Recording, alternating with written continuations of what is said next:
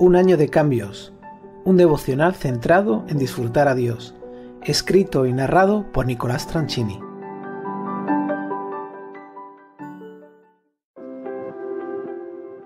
Día 53. El cambio. ¿Debo buscar ser recompensado? Parte 6. Pero esto digo, el que siembra escasamente, escasamente también segará y el que siembra abundantemente, abundantemente también llegará. Segunda de Corintios 9:6. Nadie puede presentarse delante de Dios y gritarle, mira lo que he hecho, merezco tu gracia, bendíceme ahora mismo. No, por definición, la gracia no se merece se otorga de forma libre. Nada de lo que tú o yo hagamos tiene el poder para torcer la mano de Dios u obligarlo a sentirse en deuda con nosotros. El sistema de relación divino-humano no funciona de esta forma. Intenta imaginarte la siguiente escena. Eres millonario, vives en una preciosa mansión. Sin embargo, todos tus vecinos, de hecho, toda la ciudad, sabe que eres una persona extremadamente generosa.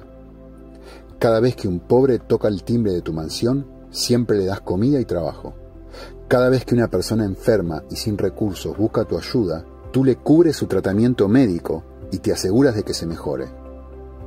Sin embargo, un día, un vendedor de seguros se presenta a la puerta de tu casa y exige que lo atiendas te llama por teléfono una gran cantidad de veces, te deja mensajes, toca el timbre en múltiples ocasiones, al final se cansa y grita, mira todo lo que he hecho, te he llamado por teléfono, he venido a tu casa, he golpeado la puerta, te he esperado, merezco que me atiendas. ¿En serio? Finalmente, enojado, se da media vuelta y dice, qué hombre más orgulloso y egoísta teniendo tanto, es incapaz de dar tan poco. Sí, es verdad. La Biblia afirma en múltiples ocasiones una verdad absolutamente preciosa. Dios recompensa nuestra fe, pero Dios no se somete a nuestras demandas. Me encanta el término recompensa.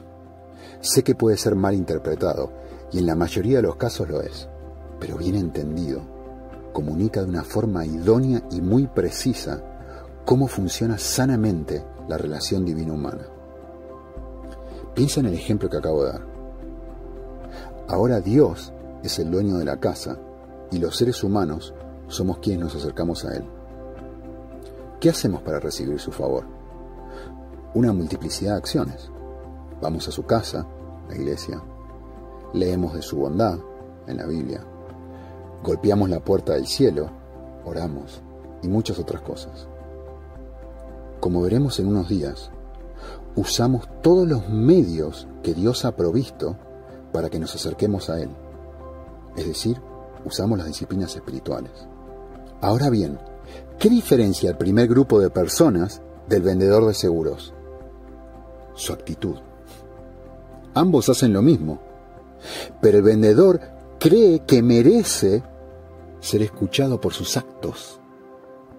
Los pobres y enfermos saben que a través de sus actos apelan al amor y a la bondad del hombre rico. No ven sus actos como algo meritorio, los ven como medios para obtener lo que no merecen. Gracias. ¿Qué hace Dios? Recompensa su fe. ¿Hay valor en lo que hicieron? Sí. ¿Era necesario? También. ¿Hay mérito? No. Lo que hay es confianza en la bondad de otro. Este es el camino que Dios ha establecido para el crecimiento. ¿Quieres un ejemplo bíblico? Vuelve a leer el pasaje de hoy.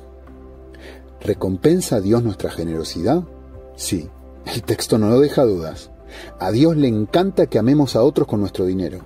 El verso dice que cada uno dé como propuso en su corazón, no de mala gana ni por obligación, porque Dios ama al dador alegre. ¿Te quedan dudas? Esto es lo mismo que sucedería si en un día de invierno, frente a tu casa, tú observas que un hombre pobre, al que le has ayudado, se quita la chaqueta que le acabas de dar y se la pone a otra persona que tiene menos abrigo que él. ¿Qué sentirías en ese momento? Lo mismo que siente Dios. Ganas de darle una chaqueta nueva al hombre que ha sido tan generoso y desprendido. ¿Por qué? Porque amas esta clase de acciones. Pero, ¿qué pasaría si otra persona ve que tú le compras a este hombre una chaqueta mejor y entonces se desprende de sus zapatos con la intención de que hagas lo mismo con él? Sabrías que te está manipulando, ¿no? Misma acción, distinto corazón. El primero le hizo un regalo a un necesitado. El segundo se hizo un regalo a sí mismo. ¿Llegas a verlo?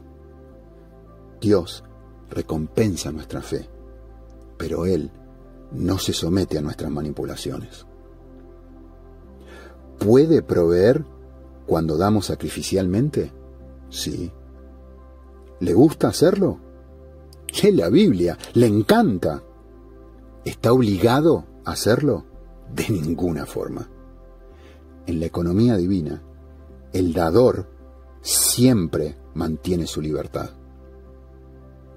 Segunda Corintios 9:8 no deja dudas. Y Dios puede hacer que toda gracia abunde para vosotros, a fin de que, teniendo siempre todo lo suficiente en todas las cosas, abundéis para toda buena obra. Para orar y meditar a lo largo del día. La recompensa cristiana es distinta a la humana. Descansa en la bondad del dador, no en la virtud de un supuesto merecimiento. Quisiera decirte algo importante antes de que dejes de escuchar este audio. Nuestro deseo como ministerio es poder ofrecer estos audios y muchos otros recursos de forma total y completamente gratuita. ¿Sabes cómo puedes ayudarnos a que continuemos ofreciéndolo sin costo? No, no, no te vamos a pedir dinero. Lo que queremos que hagas es que compres cualquiera de nuestros libros y se lo regales a alguien.